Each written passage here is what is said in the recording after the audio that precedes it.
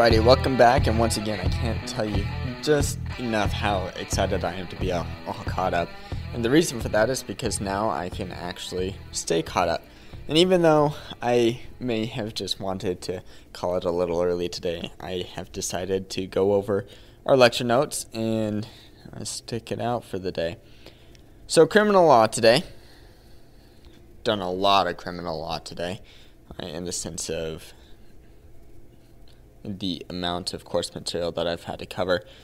We just finished our justification defenses.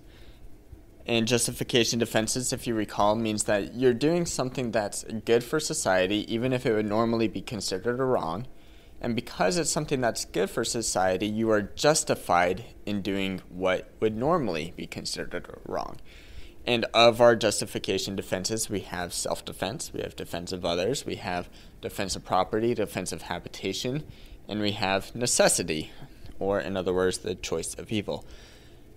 That was finishing up justification defenses, and now we are moving on to excuse defenses. And just to recall what excuse defenses are excuse defenses are when you are doing something that is wrong, is morally wrong, and doesn't have a benefit for society, but you are excused or you have a reason for why you did that wrong. And we're talking about two of those excuses today. Our first one is going to be duress, and the second is going to be intoxication, as far as excuses that people can have. Once again, I just want to note that excuses, because it's something that is wrong, I am not so much a fan of allowing these as much as we are a fan of allowing justification. So a couple of these aren't going to sit right, especially when we get to insanity and other potential excuses. But let's go ahead and start with duress. We have two parts of duress that I want to talk about. First, provide an overview of what duress wor- is, how it works, and then share how it may apply to murder if you can have duress as an excuse in a murder charge. So first we have United States versus Contento, uh, Pecan, Pechan, something like that. What happened here is that the person was a taxi car driver in Colombia, and he one of his passengers one day offered uh, him to be a personal driver, and he said, "Okay, I'll consider it." And so he came a couple days later, and instead of being a taxi driver, well, the person wanted him to smuggle money. Originally, he said, "Okay, I'll consider it," and then he came back and later told him, "No, I'm not going to do that." And the person told him some certain details about his life, told him his name, his wife's name, his uh, child's name, told him where he lived, uh, told him how old his family members were and ultimately said, We're watching you. If you don't do this, we're going to uh, pretty much kill your family. And so he ends up not telling the police because he believed that the police were corrupt and hopped on a plane with a person watching him and attempted to smuggle several bags of illegal drugs into the United States. He was caught in a prison, and he said that he did so under duress. Well, what are the requirements for duress? Can he actually make this argument? The trial court said no, but the requirements say that if you have an immediate threat of death or serious bodily injury, that's the first element. Second element is if you have a well grounded fear that the threat will be carried out. And the third element is if there's no reasonable opportunity to escape the threat and harm, then you can make a, nece- uh, a duress argument. What's the difference between duress and necessity? Necessity is a choice between two evils that will ultimately achieve a greater good. Remember, necessity is a justification, not an excuse. But duress won't work here um, because it's not for the benefit of general welfare and necessity is something that is done for the general welfare. In this case, he had met those elements. There was an immediate threat of danger or serious bodily injury, and that was if you do that if you don't do this, we'll kill your family. He had a well grounded fear, and that was because they gave him explicit information about his family's dealings, and then he had no reasonable opportunity to escape the threatened harm. What could he have done to escape? Well, he could have run away, he could have fled, or he could have told the police. He said that he didn't tell the police because he thought the police were corrupted, meaning in Colombia, if you told the police, they would probably report you to the drug lord. And instead of getting the help you need, your family might end up dead he couldn't have fled because that would have involved him leaving his job, taking his family, and leaving the country because of a threat that had occurred. So, this is a question that should have gone to the jury. So, he could have made the defense, he was entitled to the instruction, and this should have been a jury question. Why do we allow duress as a defense in the first place? Well, let's consider the utilitarian theory as well as the retributive theory. Under the utilitarian theory, he actually can't be charged. Well, you, you, you don't want to charge him because you can't deter him. Meaning, if you put him in a specific situation where his family's life is at stake, he's not going to be deterred. He's going to do the crime anyways. So, utilitarian theory doesn't work. What about retributive theory? Well, you don't want to, you can't punish him because he's actually not morally blameworthy. He's not the one actually committing the crime. Well, technically he is, but ultimately he's not committing the crime for his own purposes. Alrighty, I, I'm sorry about that. I uh, somebody came in while I, I, I was recording this notes, and so I need to get it a little bit on track. I believe what I was just saying is that he is not he can't be. He, he can use the defense because of utilitarian theory, and the retributive theory won't find him morally blameworthy. Okay, let's go over how the MPC works as far as duress goes. Well, there are a couple of differences. First, there's no immediacy requirement like there is in the common law. Second, sorry, excuse me. The threat of harm doesn't need to be death or serious bodily injury in order for you to use the duress defense. And third, homicide charges may actually be all right, meaning you can use it in a homicide charge as an excuse underneath the MPC. And you can't do that, as we'll get into right now, underneath the common law. So, questions that we talked about. And People versus Anderson, what happened here? Person killed somebody camping under duress from the person that he was with. And he's saying, asking, can duress serve as an absolute defense to murder? Meaning, can I be acquitted of murder because I acted in duress?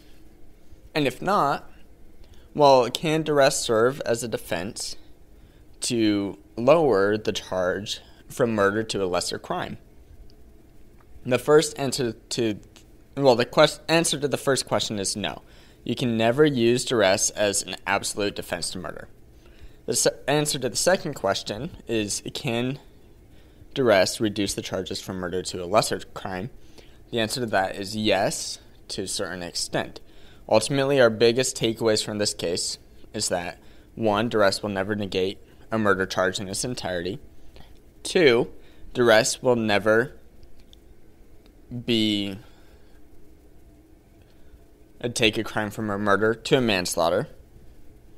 And third is that duress could, depending on the circumstances, take it from a first degree murder to a second degree murder. Note, this is all the common law approach. So, you may have duress that takes it from a first degree murder to a second degree murder, and that's going to be the extent that duress is going to help you out. And that's all going to depend on the common law definitions of murder and what the jury can actually find. In this case, the jury found that it was premeditated and deliberate. And so duress is not going to serve as an excuse from first degree to second degree murder. So he was charged with first degree murder. He couldn't use the excuse, and so he was convicted of first degree murder. That's duress. Let's talk about intoxication. We have one case here. We have United States versus Veach, and what happened here is that the person was drunk. He caused a car accident, uh, and, and, the park rangers came, uh, noticed that he was drunk, confirmed that he was intoxicated, and arrested him. And during the arrest, he resisted, uh, caused an injury to one of the officers, and then on the way back to the detention center, he threatened the life of both officers that ended up showing up, and in numerous violent ways, to say the least. He was denied voluntary intoxication as a defense, and he was convicted of two crimes. He was convicted of resistance, and he was convicted of threat the officer.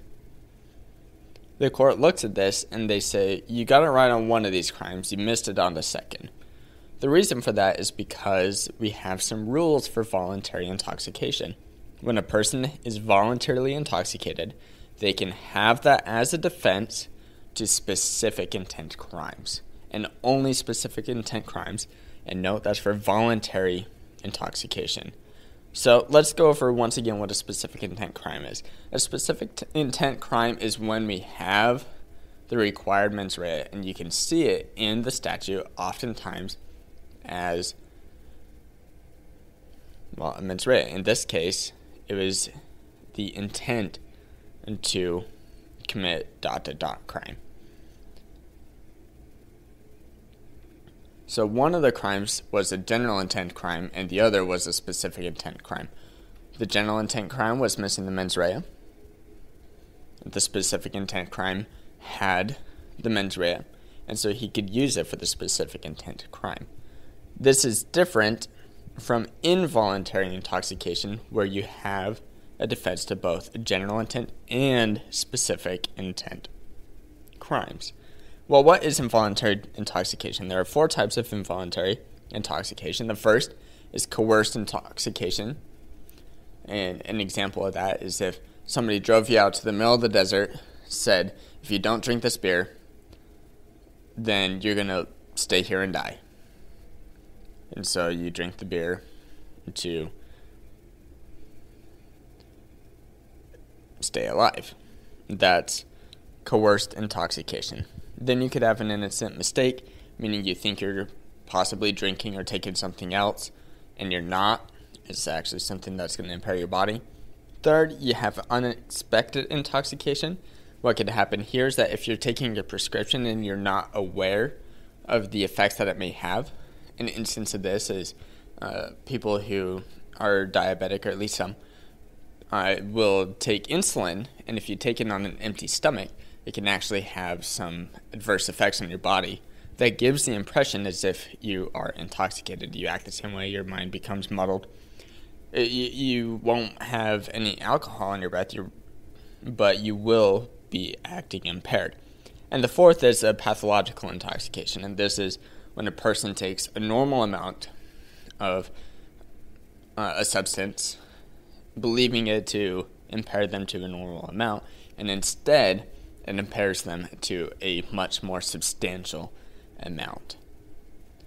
The reason why you can't, well, the reason why you can use involuntary intoxication as an excuse to both general intent and specific intent crimes is because you won't be able to convict them underneath the utilitarian approach, meaning you can't deter something that is involuntary. They didn't know it happened, so you can't deter it.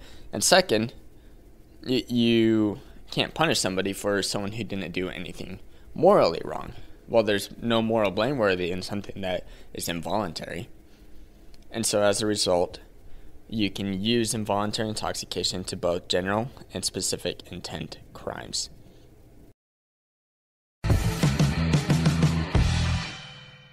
Thank you for listening to this episode of The Law Schoolers. Before I let you go, there are four things I want to say. The first thing is if you enjoyed these episodes and if you enjoyed the website, I would invite you to go and join Law Schoolers Pro. And you can do that by going to lawschoolers.com slash join.